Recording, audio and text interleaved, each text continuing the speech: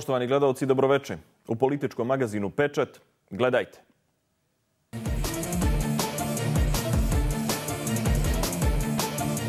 Istražujemo šta je u pozadini suspenzija visoko pozicioniranih službenika SIPE. Usaglašeno, ovakav pravosudni sistem u BiH bez budućnosti ima li mu spasa? Šta Sarajevski dogovor znači za strukturalni dialog? Gost Pečeta, ministar pravde Republike Srpske Anton Kasipović. O ratnim dešavanjima i obstrukciji suda BiH na predmetima ratnih zločina nad Srbima govori bivši ministar unutrašnjih poslova Republike Srpske Tomislav Kovač.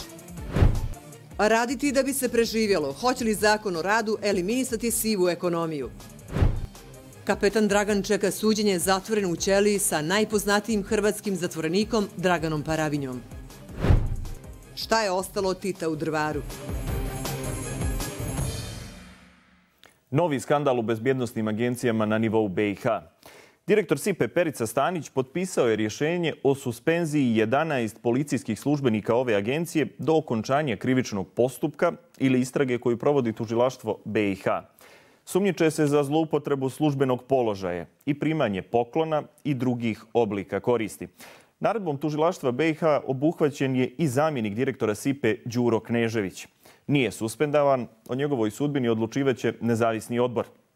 Pečat saznaje, svi su pod lupom zbog zloupotreba u postupku napređenja policijskih službenika u čin samostalnog inspektora. Priču ima Vozden Šarac. Od osnivanja 2002. godine SIPA se nije suočila sa većom aferom. Pod lupom tužilaštva Bosne i Hercegovine su šefovi finansijsko-obaveštajnog odeljenja i odeljenja za borbu protiv terorizma, sektora za istraživanje ratnih zločina i ocijeka za unutrašnje istrage.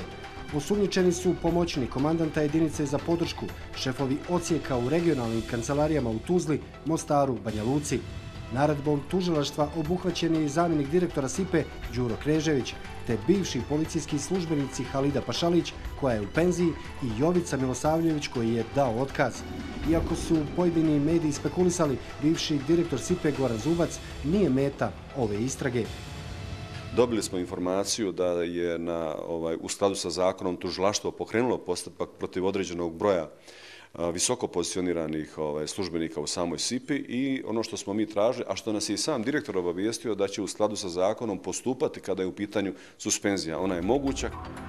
Iako su u tužilaštvu BiH već po običaju bez komentara, ekskluzivno saznajemo šta se stavlja na teret suspendovanim policijskim službenicima, uključujući aktualnog zamjenika direktora agencije.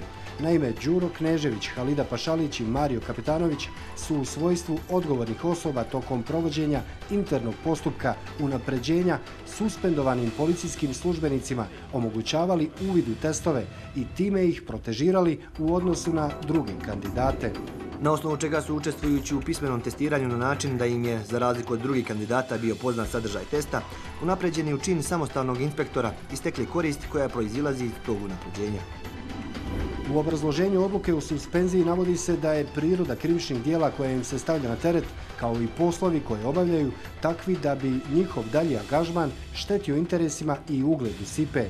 Neće biti dobro ako se pokaže da su E, navodi iz te anonimke utemeljeni i da je zaista unutar SIPE se odvijale određene kriminalne aktivnosti, dakle onda dolaze u pitanje njene aktivnosti i njen kredibilitet. Hoće li nezapamćena sjeća, to jest suspenzija visoko pozicioniranih policijskih službenika, uticati na rad agencije? Direktor Siper nije htio da objasni pred našom kamerom. Zamjenik predsjedavajućeg Zajedničke komisije za odbranu i bezbjednost Parlamentarne skupštine BiH Borislav Bojić nije pokazao tu vrstu zabrinutosti. Bojić odbija insinuacije da je Perica Stanić iskoristio ovu priliku da se riješi kadrova bliskih njegovom prethodniku Goranu Zubcu. Perica Stanić će sigurno raditi u skladu sa zakonom, a kada je u pitanju sam kapacitet SIPE, on je stručan čovjek, dovoljno strukovan da može da vam odgovori na to pitanje o kome da vi govorite. Ja se dakle ne bavim tim pitanjem i sama komisija je tražila da vidimo s kojim kadrovima raspolaže SIPA, kakva je popunjenost. Pozadinu u cijelog slučaja teško je rasvijetliti, iako se spekuliše da je anonimna prijava dijelo jednog inspektora SIPE, javnosti nije poznato koju je napisao i s kojim motivima. Ako se sve zasniva na jednoj anonimnoj prijavi, onda to stvara određene sumnje. Zar je zaista anonimna prijava toliko validan dokument da se momentalno pokrene istraga. Dakle, jedna jedna neprijatnost kako za SIP-u, tako i za sve one koji od SIP-e p-a očekuju da se e, za svoj rad zasniva na zakonu, na borbi kriminala. Poznavalci prilika u ovoj agenciji kažu da su istragom tužilaštva BiH, odnosno suspenzijom, obuhvaćeni službenici koji su napredovali u službi u vrijeme Gorana Zubca ili su mu prosto bili dobri saradnici, a to se posebno odnosi na Đuru Kneževića koji poput Zubca nije bio u dobrim odnosima sa Goranom Salihovićem, glavnim BiH tužiocem konačno i odnos e, tužioca, glavnog tužioca Bosne i Hercegovine Gorana Zubca nije bio za, za pohvalu, nije, nije, nije kakvom, nikako bio dobar odnos e, Džansudna Mehmedovića koji je ispred komisije za bezbjednost i odbranu iznio to u javnost. Dakle, ukoliko je to tačno, ukoliko su u pitanju e, neke male lične osvete, namirivanje nekih računa, to dodatno baca sjenku na sistem bezbjednosti i uopšte na agencije za provođenje zakona. Svih 11 suspendovanih službenika dužni su da do okončanja krivičnog postupka razluže službeno oružje, službenu iskaznicu i policijsku značku. Zabranjuje im se nošenje službene uniforme, a za vrijeme suspenzije primaće umanjenu platu.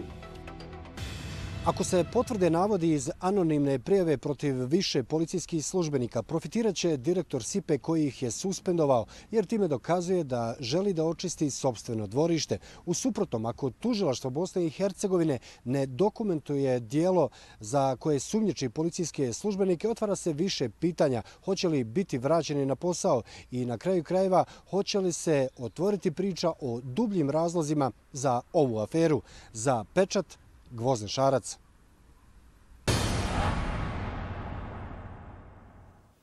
Tužilaštvo BiH poznato je po brojnim istragama i spektakularnim hapšenjima, ali bez sudskog epiloga. Česti su i sukobi tužilaštva, suda i Visokog i sudskog tužilačkog savjeta BiH. Sve upućuje na jedno. Pravosuđu Bosne i Hercegovine neophodna je reforma. U strukturalnom dijalogu Republika Srpska ponudila je rješenje, ali ni ovaj put to nije prošlo bez kritika. O reformi pravosuđa sa ministrom pravde u vladi Republike Srpske Antonom Kasipovićem razgovarala je Nada Veletić. Ministre, Evo, kad god Republika Srpska otvori priču o referendumu zbog e, nezadovoljstva e, načinom rada suda i tužilaštva e, BiH, ponovo svi se nekako sjate, pogotovo najglasnija je međunarodna zajednica, ponovo vraća za pregovarački sto i da se nastavi priča o takozvanom strukturalnom dijalogu.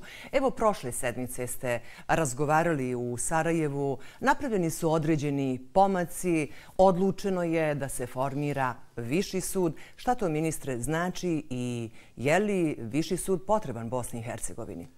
Pa prije svega da kažem da dakle, strukturalni dijalog traje već e, evo, pet godina od 2011. godine.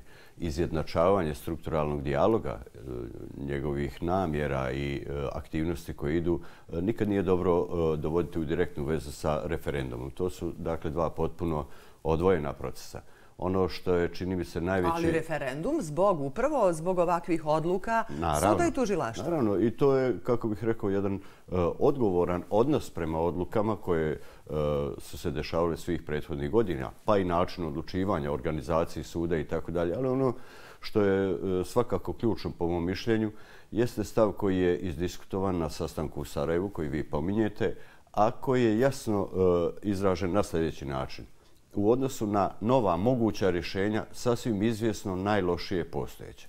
Dakle, dolazimo do te konstatacije da sadašnja rješenja e, nisu dobra i da treba svakako tražiti nova.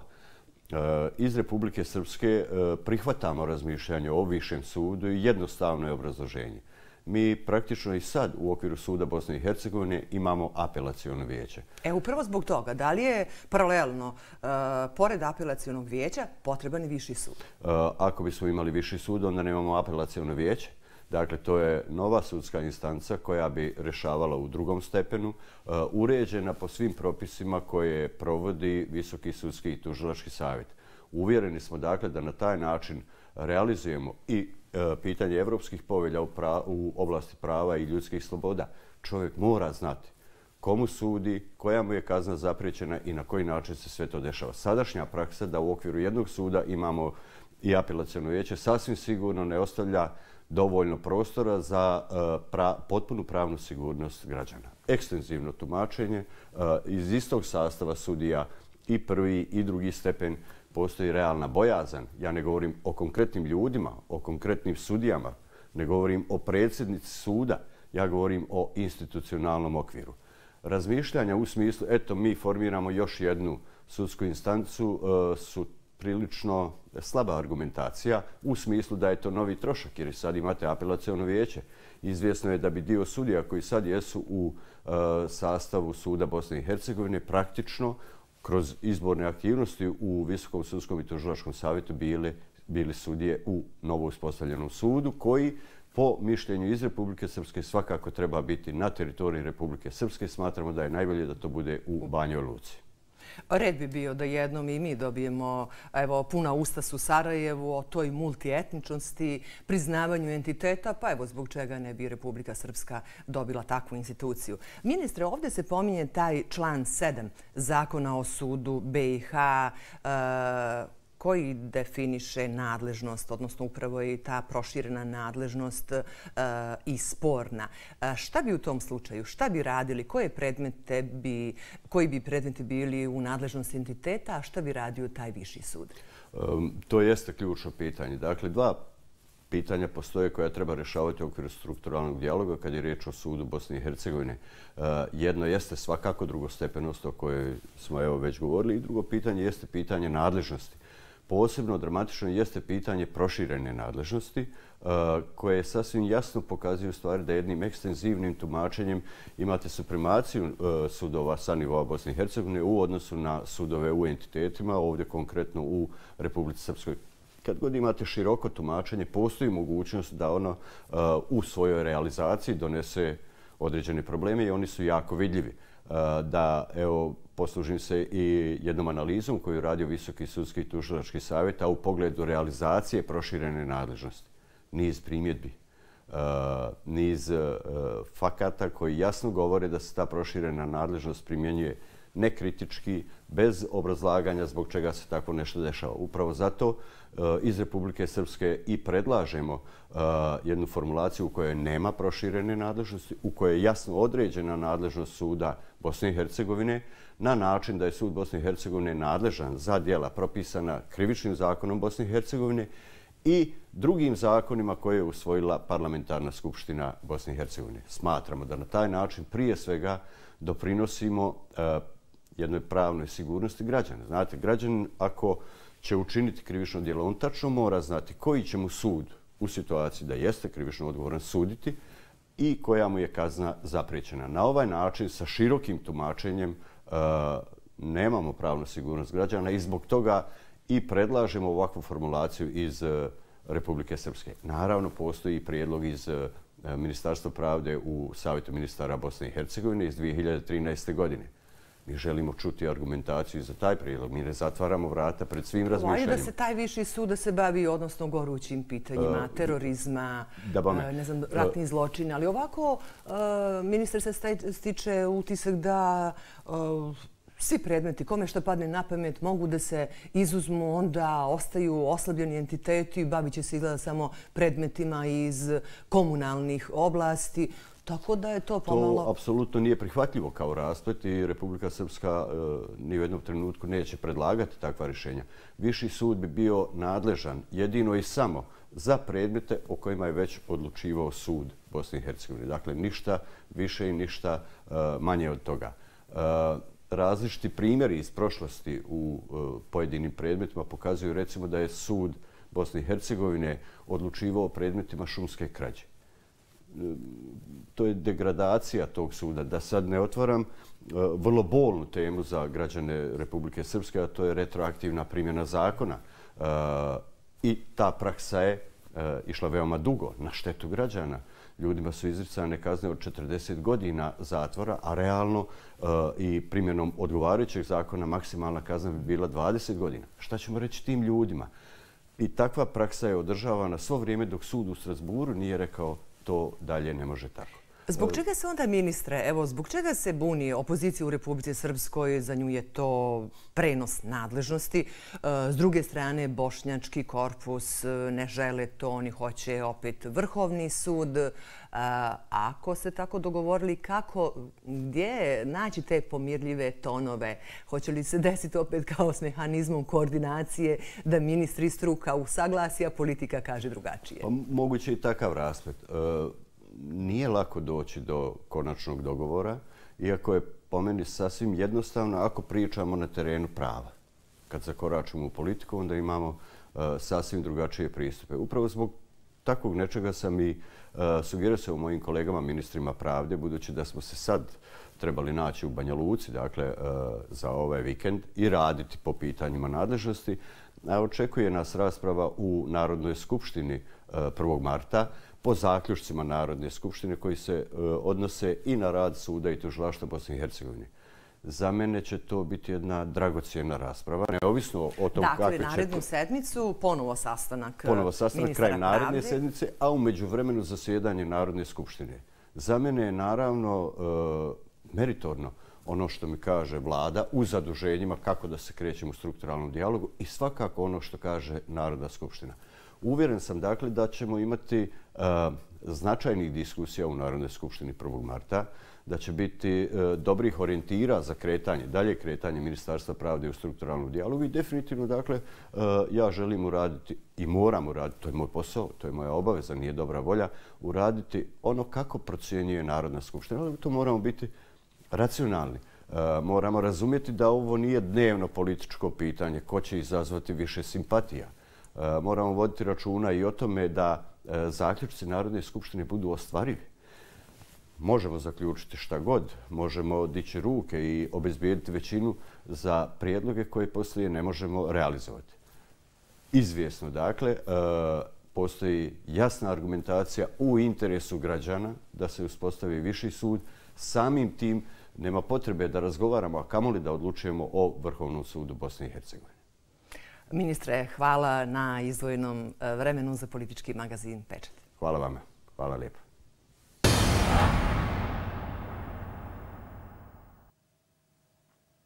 Rat u BiH i ratne manipulacije. Ko je pucao iz snajpera sa Sarajevskog Holiday Ina?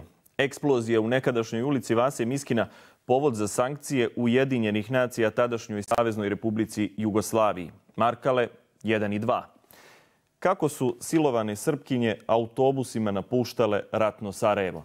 Za pečat govori bivši ministar unutrašnjih poslova Republike Srpske Tomislav Kovač. Gost pečata, sudionik ratnih zbivanja na prostoru Bosne i Hercegovine, general Tomislav Kovač, ratni ministar unutrašnjih poslova Srpske republike Bosne i Hercegovine. Dobroveče i hvala što ste došli u našu emisiju. Hvala i vama. Dobro večer. Jedan od mitova tih dešavanja Sarajevo i oko ima ih mnogo zaista. E, svakako je i ta priča o silovanim muslimankama u okolini Sarajeva, tačnije na području Srpskog Sarajeva.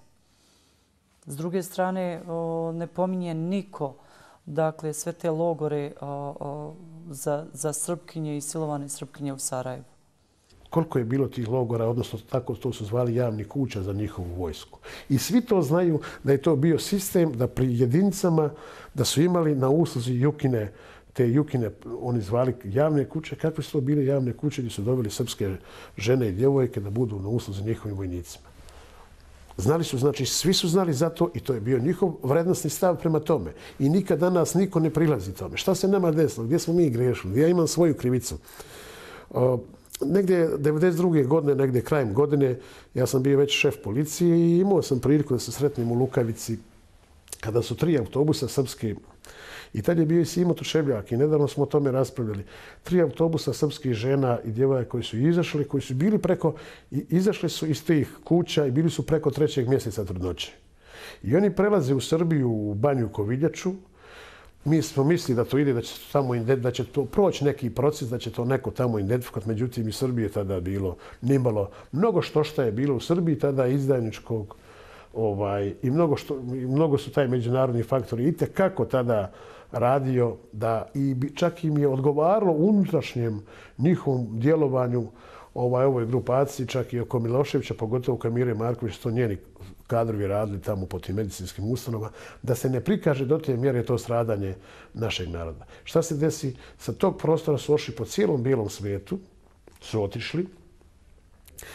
Međutim, ja moram danas da kažem koliko god su me neki moli, koliko god to bilo teško. Uh, u Beogradu, u, u, u Narodnog fronta, porodila se žena, djevojka tada, Nemo, neću da je onaj, da otkrivam inicijale, ali ima nešto što mi moramo svi podnijeti zbog srpskog naroda. Koja je rodila od, od ovoga čele, rodila je njegovo dijete, znači rodila je njegovo dijete. I rodila je, znači, rodila je dijete, to je, ona je bila u toj grupaciji koje su bile silovane. Znamo za to, od tog, od čele dijete koje je rođeno u Narodnog fronta, znači, i, da, i to dijete je, to dijete je usvojeno, i sve su to odradili. I sve je to nekako zatvoreno. Ja znam da je to kao teško i ta se žena, djevojka, mislim, udala. Sve je to u redu.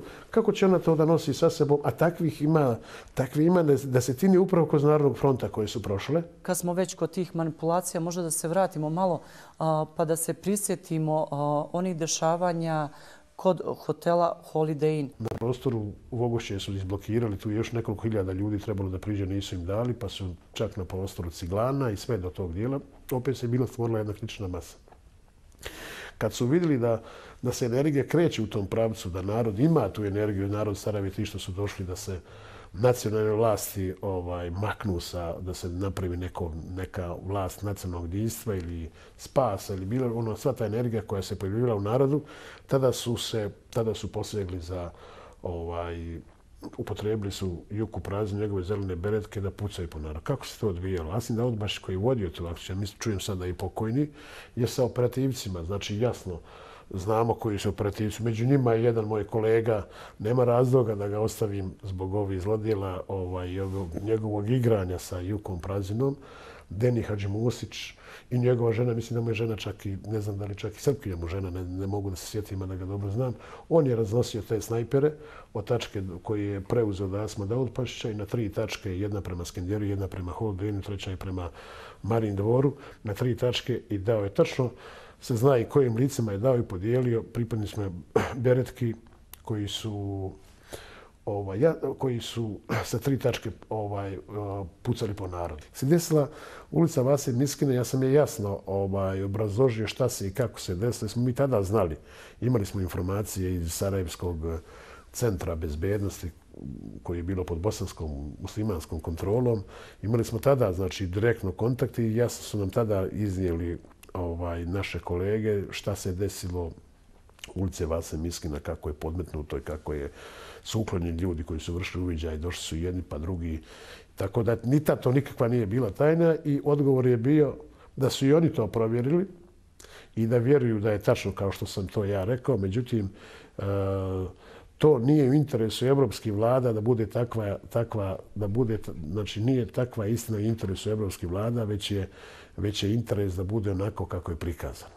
Evo dakle, mnogo je kontroverziji i za eksplozije koje su se desile na Sarajevskoj pijaci Markali. I ono, prvu eksploziju i drugu. Šta je vama poznato od toga? Pa sad su samo malo drugačiji akteri kod ulici Vase Miskina su organizovali pripadnici MUPA Bosne i Hercegovine a ovu su pripadnici iz namjenske industrije, znači ova ekipa oko, ovaj, oko ekipa inženjera na oko Zajima Backovića, to je ovaj famozni Zagi koji je opet moj drug iz, iz kluba koji je organizovao vezano za ovaj napad na, na ovoj dobrovoljačkoj i tu je bila jedna znači izuzetno ekstremna grupacija ovaj iz namjenske industrije iz ovaj, iz Vogošće, znači vojna namjenska industrija, ta grupacija inženjera i veoma ozbiljni, sposobni i, i veoma ekstremni ovaj, koji su, pored toga što su ne stvari normalno organizovali proizvodnju oružja u Sarajevu i, i izvođenje niz tih diverzanskih, čak i upotrebu i hemijskog oružja na određenim mjestima i tako. Oni su, u njihovoj organizaciji je odrađena sve ukupno ova veoma veoma ozbiljno, znači studio obrađene su markale. Gospodine Kovač, puno znate, a rijetko pričate. Pričat ćemo opet vrlo brzo za koji dan. Hvala vam što ste bili večeras gost Pečata.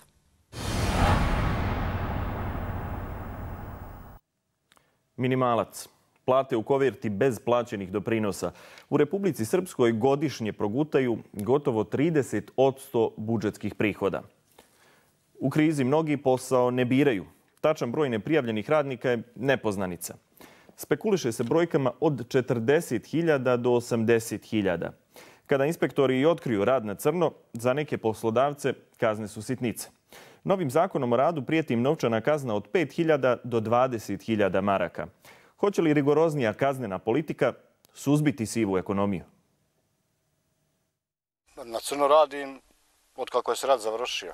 Znači što je bilo, radio sam u firmi, ali nikad me niko nije prijavljivao. Ako je prijavio, bilo je kao fiktivno prijavljen, a u stvari nisam bio prijavljen, nisam mogao ni ovire knjižicu, a da sam redovnom postupku bio u preduzeću, znači prilike trebao bi sad za nekih par godina i u penziju ići. Ovako? Ovako, penzija je iluzija. Ovo je samo jedan među brojnim radnicima u Srpskoj koji nemaju ime i prezime ni poreski broj. Radi od jutra do sutra da bi prehranili porodicu i nemaju vremena da razmišljaju šta će biti kada ih izdaju i snaga i zdravlje, a ne budu imali dovoljno staža ni godina starosti za penziju. 2007. sam ostao bez posla. Ovaj, do tad imam negdje blizu 20 godina staža. 2007. sam bio tehnički, tehnološki višak i od tad radim onako šta stignem. Bravarija, zavarivanje, uglavnom znam rad svašta i gdje me ko pozove. Kada imate porodicu, a novčanik vam je prazan, pristajete na sve poslovne aranžmane, kaže Boško Mirković, koji je radio na crno dok nije dobio karcinom, zbog čega je prijevremeno penzionisan. Devet godina se radio na crno. Kako? Teško. Nema radnog vremena, nemaš uslova nikak. Nema gdje nismo išli raditi po Crnoj gori, svugdje ovdje, po, po Bijelji. Građevinski rad, bravarija, sve radiš. Nemaš radnog vremena. To je država kriva, država i... Samo država, niko drugi. Dobro, malo i narod kriv što ovo sve trpi ovako. Jedan napusti, onaj drugi jedva čeka da dođe da radi. Šta će jedni narod kad je, kad je prinuđen? Da ste ti devet godina koliko ste radili na crno bili prijavljeni, šta bi vam to danas značilo? Značilo mi u veću penziju. Ovako imam 200, 209 maraka puno mi zlačio 9 godina, imao 30 godina staža. Značilo bi i državi. Koliko su samo poslodavci profitirali ne prijavljujući radnike i izbjegavajući plaćanja obaveza Republici. S procjenama niko još i ne licitira. Ništa bolje nije i onima koji imaju ugovor o radu bez plate i doprinosa. Rade po 10 do 12 sati bez odmora i pauze. Za sindikat je to rad na crno. Procenjuje se da je takvi svake godine između 15 i 20 hiljada. Gore od goreg su najamni radnici. Njih nema nigdje u evidencijama. Nemaju nikakva prava i dobiju onoliku naknadu koliko im odredi poslodavac. Preko jedne trećine bruto društvenog proizvoda u Bosni i Hercegovini se nalazi u sivoj zoni, tako da ukoliko bi sistem funkcionisao, a činjenica je da su dva reformska zakona koje je predložila vlada Republike Srpske koji bi trebali da urede ovu oblast, to je zakon o inspekcijama i zakon o porezkom postupku, pali na skupštinskim odborima, nisu dobili podršku upravo vladajuće strukture, a oni bi tekako u procesu usvajanja i stupanja na snagu mogli da urede oblast koja, evo kažem, jede više od jedne trećine bruto društvenog proizvoda. U vladi odgovaraju da bi set reformski zakona koji je krajem prošle godine pripremila izvršna vlast u saradnji sa Privrednom komorom i Savezom sindikata trebalo da poveća nadzor. Oštrija kaznena politika napokon trebalo bi da stane u kraj radu na crno. Ne bude li toga, sve će biti više oni koji nakon radnog vijeka neće imati penziju ili će one biti minimalne. Sada su na potezu inspektori. Prije svega da proširimo nadležnosti e, inspekcijskih organa u Republike Srpskoj za kontrolu rada na crno. Željeli smo da ovlaštenje imaju svi kontrolni organi, uključujući i lokalni zajednica komunalna policija za takozvanu neregistranu djelatnost. U našem fokusu znači neregistrana djelatnost, ona djelatnost kao što nije registrana i e, gdje pravi vrlo nelajalnom konkurencijom ljudima koji imaju registranu djelatnost i drugi fokus su jesu ljudi koji rade, a koji nisu prijavljeni i kojima fondovi gube prihode, a građani gube svoje neka prava. Mislim da ćemo u prvom kvartalu ove godine usvojiti taj set zakona iz oblasti sive ekonomije, da će inspekcijski organi prije svega morati mnogo više da rade na tom polju kako bi se e, broj ljudi koji radi u sivoj ekonomiji sve u neke održive mjere. I u Uniji poslodavaca smatraju da je rješenje u pojačanom radu inspekcije, ali da niko ne može rešiti problem rade na crno ako sam radnik nije spreman da insistira i kod poslodavca i kod inspekcije da bude prijavljen i da se za njega plaćaju porezi i doprinosi. Mislim da e, su i kroz zakon o radu neke stvari otklonjene, međutim, mislim da nema dovoljni e, dovoljne svijesti i poslodavaca i radnika također i e, kontrolni organa da je to vrlo bitno i mi kao poslovna zajednica se borimo protiv rada na crno zato što je to na neki način i nama si, e, nelojalna konkurencija koja opet šteti, šteti radu firmi koje žele da radi u skladu sa zakonom. Inspektori su se pohvalili da su u prošloj godini otkrili 970 radnika koji su radili na crno, 147 više nego u 2014. godine. To je, kažu, rezultat planiranja kontrola i maksimalnog angažovanja svih kadrova. Zbog raznih vrsta prekršaja, poslodavcima su izrečene kazne u iznosu od 1.556.000 maraka. Iako prijeve mogu biti anonimne, radnici se odlučuju na ovaj korak, uglavnom kada ostanu bez posla. Nismo imali veći broj e, e, takvih e, događaja, ali je bilo slučajeva gdje su radnici doživjeli težu povredu na radu, pa čak i smrtnu, gdje je nakladnom kontrolom utvrđeno da je zapravo radnik bio angažovan bez adekvatne prijave, odnosno radio i na crno. U ovim slučajevima inspektori su izricali novčane kazne koje dosežu i do 10.000 konvertibilnih maraka i podnosili smo krivične prijave nadležnim sudovima. Procenjuje se da je budžet socijalnih fondova zbog sive ekonomije oštećen za više od 30%. Zbog neprijavljivanja radnika ili prijavljivanja na minimalac, samo fond PIO godišnje gubi oko 60 miliona maraka prihoda. Poslodavci neredovno ili nikako ne uplaćuju doprinose za 21.000 radnika. Osim pooštrenih kazni za poslodavce, novi zakon o radu uvodi nove mehanizme zaštite radnika. Svaki poslodavac je dužan da radnika prijavi u jedinstveni sistem prije odpočinjenja rada radnika. Ne može radniku da otkaže ugovor o radu ili da sporozumno s njim raskine bez ovjere tog ugovora e, o sporozuma o prestanku radnog odnosa kod nadležnog organa jedinice lokalne suprave. Samim tim izbjegnuta je mogućnost zloupotrebe poslodavaca o datumu prestanka radnog odnosa. I pored toga, zakonom su ovaj, poštrene kazne za ako inspekcija u postupku nadzora utvrdi da je neko lice radi bez potpisanog ugovora o radu. Bude li se poštovalo slovo zakona, novi zakon o radu obavezuje poslodavce da nakon zaključenja ugovora o radu u roku od pet dana prijavi radnika na nadležne fondove osiguranja.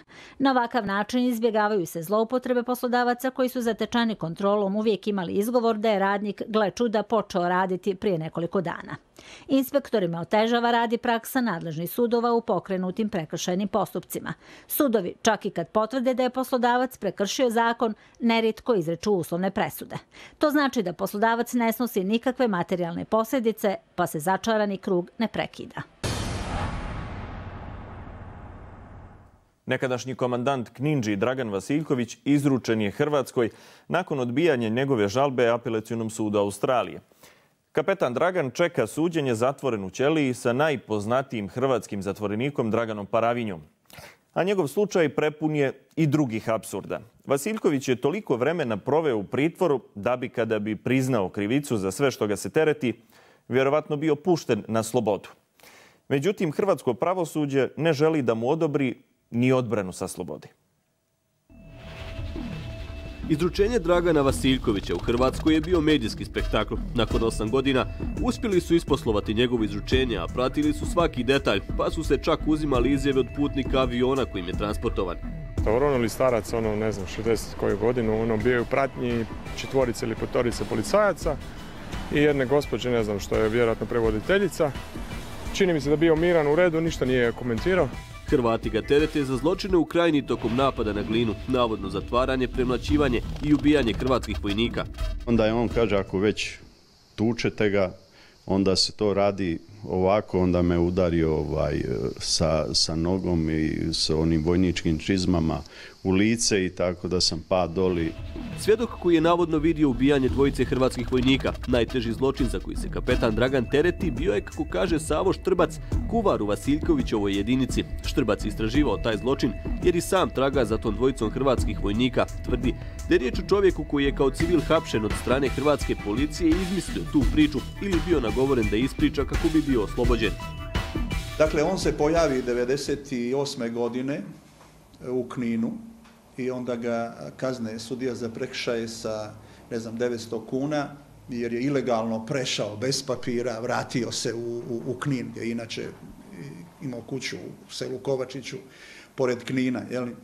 I tad, pošto ima para da plati tu kaznu, odvedu ga 9 dana u zatvor, kao zamjena za novčanu, i dođu kod njega policajci i tu kreće taj razgovor o dvojici e, e, zaista nestalih hrvatskih vojnika. Ti vojnici hrvatski su nestali u selu Dragišić koje se zove selo kao i ovaj svjedok. I to je bio taj okidač neki policiji da dođe do tog čovjeka misleći da je on rodom iz tog sela pa da počnu tragati za svojim vojnicima. I onda je on njima tu plasirao priču da je on bio kuvar, kod kapetana Dragana i da je prisustovao sceni i dovođenja tih zarobljenika i njihovom maltretiranju i čuo je pucnje i vidio ih je mrtve kad su ih odvezli ti isti ljudi koji su ih dovezli. On čak spominje i imena trojice ljudi e, kojima je kapetan bio nadređeni, spominje njihova imena, zna čak i odakle su iz Srbije. Sva trojica su iz Srbije. E, niko od 98. sve do 2005. nije poklanjao pažnju u Hrvatskoj na taj njegov iskaz. Njegove svedočenje niko nije uzimao za ozbiljno, priča Štrbac, sve do pisanja jednog australijskog lista o kapetanu Draganu i odredu smrti. Tada su Hrvati vidjeli šansu za njegovo izručenje i izvukli svedoka iz naftalina, tog čovjeka, ali ni trojice koju on imenuje, niko u jedinici se, kako kaže Štrbac, uopšte ne sjeća tvrdim da tamo u kampu nijedan zarobljenik nije ubijen e, i da niko nije tražio ranije sve te do 2005. godine, a bio sam na hiljade sastanaka sa hrvatskom stranom, da nikad niko nije spomenuo, iako su imali taj iskaz tog pere, jel da od 98. nisu spominjali da bi neko bio ubijen. E, u čemu je onda kvaka? Kvaka je u tome što se niko od onih koji su zaista bili u tom kampu, počevši i uključujući kapetana Dragana, ne sjeća čovjeka pod imenom Pero Dragišić, niti se sjeća bilo ko imena te trojice koje je on spomenuo imenom i da su učestvovali u dovođenju, maltretiranju i ubistvu te dvojice e, zarobljenih Hrvata. Fair suđenje od strane hrvatskog pravosuđa očekuje se da će biti samo misaona imenica. Lično sumnjam da će kapetan Dragan, odnosno gospodin Vasiljković, ja ne znam da li on kapetan ili nije, da će, da će gospodin Vasiljković imati e, uh, fair i nepristrasno suđenje. Sumnjam u to, jer medijska kampanja koja je vođena svih ovih godina, kada je pitanje gospodin Vasiljković, postavlja vrlo malo prostora za nepristrasno suđenje. Po svoj prilici da bi, znate, to je ipak medijski slučaj, devet godina, devet i pol godina se čekalo na njegovo izručenje, cijeli svijet zna je li koliko je Hrvatska uložila napora da ga dobije. I sad kad bi ga oslobodili u prvom krugu suđenja, bilo bi pomalo ovaj, e, smiješno, je li tako? Neozbiljno. E, zato pretpostavljam da će u tom prvom krugu biti donesena osuđujuća presuda, ali u nekom drugom ili trećem krugu ja vjerujem da će biti oslobađajuća presuda. Njegovo smještanje u istu ćeliju sa Paravinjom, međutim, nije bilo tendenciozno, kaže Štrbac. Vasiljković je dobrovoljno pristao da dijele ćeliju. Kad mu je ponuđeno, bili pristao da mu daju jeli, e, Paravinju u zatvor, u Čeliju, u taj njegovo odelenje, da je pristao i da je to jedva i dočekao, da ima društvo. E, svjestan je i on i Paravinja da im prijeti opasnost ako su na odelenjima gdje su drugi zatvorenici, jer su oba na zlu glasu. Donedavno je Vasilkovića zastupao advokat po službenoj dužnosti. Njegovu odbranu vodit će zagrebačka advokatica Slađana Čanković. Čankovićeva je zatražila da se Vasilković brani sa slobode, jer praktično već je proveo u pritvoru više nego što bi mu bila određena kazna i u slučaju da bude osuđen za ono što ga se tereti. Sud je odbio žalbu i trenutno se odlučuje po žalbi odbrane na tu odluku. Štrbac procjenjuje, ali i napominje da, s obzirom na to da Hrvatsko pravosuđe ima institut priznanja krivice, kapetan Dragan, ukoliko bi htio, mogao bi da prizna krivicu i bude vjerovatno odmah oslobođen, obzirom na vrijeme koje je do sada prove u pritvoru.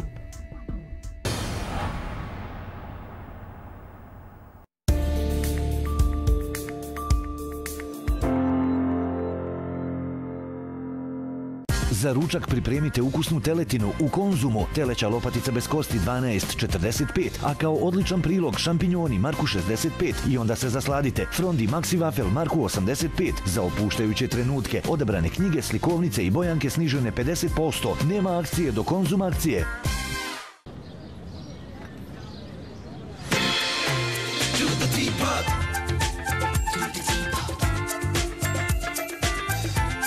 Najbolji okus, najbolje raspoloženje. Tekane, to je okus čaja. Postoji bezbroj načina da se uživa u hrani. Ali kako zadržati taj dobar osjećaj nakon obroka? Kako postići ravnotežu između uživanja u hrani i brige o sebi? Balance Plus jogurt podstiče varenje, ubrzava metabolizam i pruža vašem organizmu idealan osjećaj lakoće. Za potpuni užitak u životu treba naći balans. Balance Plus. Inlek. Zamjena, namjena, iznos rok i datum dospjeća. Sve po vašoj želji. Smanjite svoja mjesečna zaduženja uz Hipo nenamjenske dugoročne kredite. Hipo Alpe Adria. S vama, uz vas, za vas. Nothing here to see, just a kill out me, trying to cut some teeth, trying to figure it out.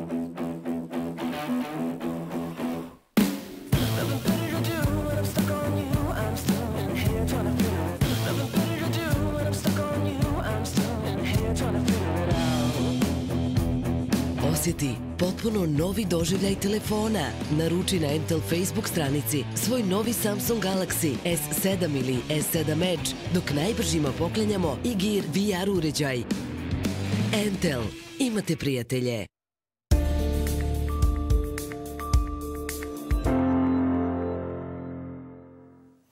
Malo je gradova koji su poput drvara ponosni na vrijeme Tita i partije. Iako je kraj posljednjeg rata dočekan bez bilo čega što bi podsjećalo na to vrijeme, u Drvaru se glavna ulica opet zove Titovom. Obnovljen je spomin muzej, baraka, ali i neki drugi sadržaj pod Titovom pećinom. Ovaj gradić ponovo živi neki novi stari život sa uspomenama na vladavinu Josipa Broza. Priča Slaviše Sabljića. Pod okriljem onih iz lokalne SDS-ove vlasti koja je za sobom, kako kažu drvačani, povukla mud samo malog broja nadri političara onog vremena, u drvaru je 90-ih uništeno sve što je makar i malo posjećalo na Tita. Njegov potpis ponad pećine porušili su, baraku zapalili, a iz imena grada izbrisali i ime Tita. Više nije bilo ni Titove ulice, muzej opustošen, pokradeni eksponati i lične Titove stvari. Njihov posao pričaju mještani dokrajčio je lokalni HDZ koji je 1995. porušio i centralni spomenik otporu fašizma i biste 19 narodnih heroja ovoga kraja. Bio je to dio politike onog vremena u kome se jednostavno nije htio čuti glas naroda. I danas je drvar žrtva upravo tih krugova i tih ovaj, političkih opcija i tih nekako, kako bi rekao, da fašizam nije nestao na ovim prostorima, što je najtragičnije. Narod Drvara nikada nije mogao, a danas se to vidi, ni želio zaboraviti vrijeme Tita i partije, jer u tom Titovom vremenu mnogi su živjeli svoje najljepše dane. Mislim da Drvačani to i neće nikad zaboraviti potpuno jer je to bilo doba u kome je bila prava sloboda, istinska sloboda i u kome se kogod je htio da radi, da živi normalno, taj je to mogao. Nije bilo ovaj, više, tako reći, nikakve sirotinje i bijede koju, na primjer, sada imamo. Uz Tite i partiju u Drvaru su mnogi rasli i do ljudi narasli. To vrijeme nikada se ne zaboravlja, niti bi ga Drvarčani bilo kome dali. Mi smo kao drvarčani, naravno, prepoznatljivi po tome, po još mnogim stvarima, ali po tome takođe. I ne želimo da odustanemo i da nas neko gazi i pregazi, bar kad je taj segment naše istorije u pitanju, jer smatramo da smo zaslužni za jedan određen dio slobode koji je ipak bio najveća svetnja svih onih koji su u borbu za tako nešto ulazili. U najvećem dijelu bića drvarskog i čovjeka koji ovdje živi ostala uspomena i, da kažem, jedno uvijek drago prisjećanje na značajne datume toga vremena, na značajne događaje koji su bilježili to vrijeme. I ustanak 1941. i desant 1944. i sve narodni izbor i okupljanje 74. na 30. godišću desanta i događaj koji su zaista okupljali i danas izazivaju poštovanje i respekt i u Drvaru i u okolini i na kažem regionalnom prostoru jer sve je više onih koji su prepoznali e, greške koje su se izdešavale u posljednjih 20 ili 25 godina i koji su svjesni da je ono bio komforan prostor za sve, da smo ga učinili tjesnim i napravili nered u jednom sređenom društvu. U drugom ratu drvare za slobodu i ono što su decenijama poslije do neba uzdizali, dao više od 2000 boraca i žrtava fašističkog terora. Dao je sve što je to vrijeme od njih tražilo. Nekima to smeta, bode oče, ali ne vidim zašto bi bilo kome smetilo kad je, kad je poznato da je Tito bio zaista domaći stanovnik ovog kraja. Bez obzira na sve njegove pluseve i minuse, mane i vrline, svi ih imamo, pa ih imao i on. E, ne možemo zanemariti činjenicu da je taj dio slobode koji se kovao ovdje stvarao, rađao, ostavio preduboki upečatljiv trag na širem balkanskom prostoru i ta relacija i veza između Tita i ovoga kraja ne može nikad biti izbrisana i niko je ne želi ni pobrisati. Mogu oni razoriti, odnosno mogli su razoriti fizički sve što od objekata postoji, nisu niti mogu razoriti sjećanje duh i činjenicu da je taj i narod toga vremena i ovaj istog tog kraja, a u ovom vremenu narod prepoznao i jako dobro zna kako ko misli i šta želi u ovom prostoru. Iz tog razloga mi smo i dalje opredjeljeni da njegujemo sve ono što nas čini značajnim i bitnim. Drvar bez imena Tita, ali s njim duboko u duši, danas živi život koji nimalo ne liči onom od prije 30 godina. Ali i takav u drvaru se mora živjeti. Pečat je završen. Poštovani gledalci, hvala za pažnju. Ostanite i dalje uz naš program. Prijatno večer.